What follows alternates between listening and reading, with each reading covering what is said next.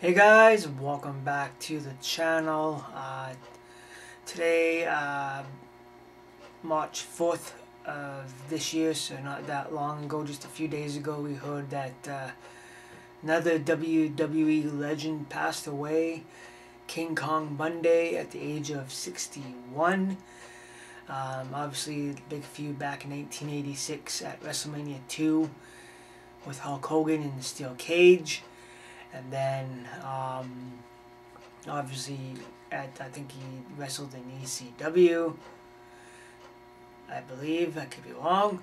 And then he came back in 1995, and his last uh, appearance in the WWF was uh, WrestleMania 11 against The Undertaker.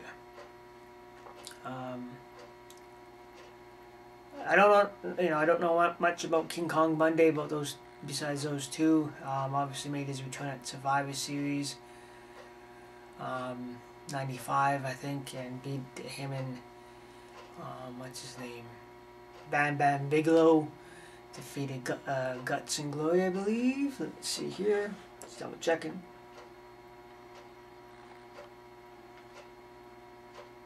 Yeah, Guts and Glory defeated Lex Luger and his team.